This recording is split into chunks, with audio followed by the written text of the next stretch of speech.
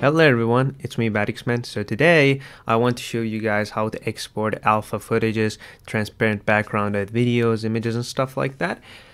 Yeah, so first off, by the way, nobody other than me, at least from what I've seen, has made a tutorial exactly like I did. And let me tell you why, alright? So, okay. This middle part, by the way, it's gonna look weird at the end when I apply it to another video.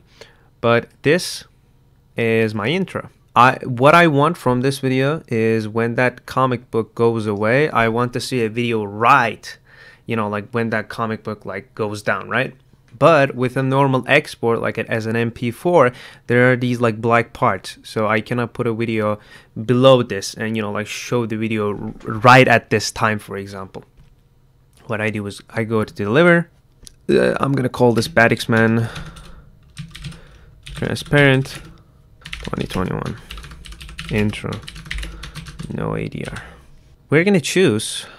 Yeah so we're gonna go QuickTime DNxHR and then after this yeah DNxHR HQ high quality.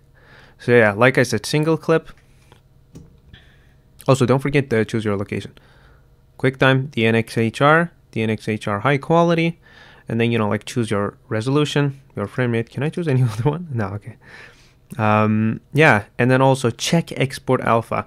Oh boy this is the part where your program might struggle at least if you're recording like me. So let's go.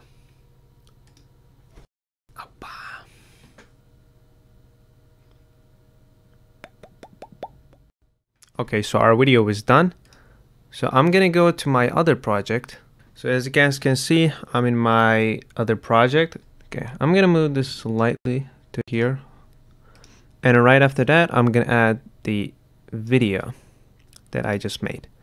I'm gonna start my video from here. Because when I do this... Hello everyone. Did you guys see that?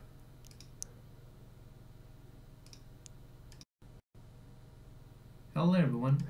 Look how clean that is. Anyways, I'm just boasting about my intro at this point. Um, I mean, yeah, this is how you do uh, alpha exports in DaVinci Resolve. Thank you guys so much for watching, and I'll see you in the next one. Good. Uh, bye.